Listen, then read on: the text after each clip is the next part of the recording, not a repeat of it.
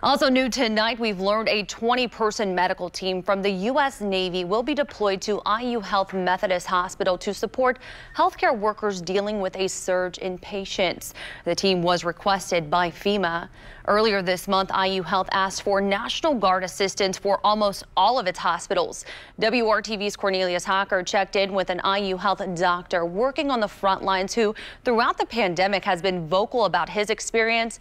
Tonight, he's sharing what healthcare workers are dealing with right now and what might be ahead. If everyone were vaccinated, you and I wouldn't be talking because my hospital would be normal. Dr. Gabriel Bosslet, an IU Health pulmonary and critical care doc, is not mincing words about the Omicron variant and the trouble it could bring. And so, even if Omicron leads to less hospitalizations, we are starting at a place where we have no slack in the system. And that's a huge problem. Data shows Omicron is more infectious than other strains, and it's already making up a majority of new COVID cases in the United States, according to the CDC. What's the best case scenario that happens whenever it spikes?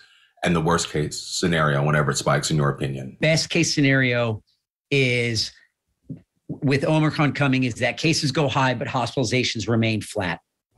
That's fine. We can handle that.